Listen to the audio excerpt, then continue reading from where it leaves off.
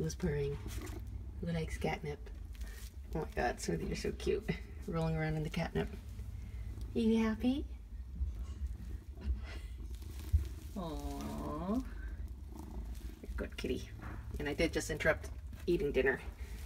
But you can have a little catnip before dinner. You can have that, that's your appetizer. He had a small little food vomit, so we're washing his blanket that was in there. Oh, you're a good kitty. Oh, he's happy and purring. Catnip. Look, I'll show you the catnip. What's that? What's that? What's that? What's that? Oh, what's that? oh, kitty mouth.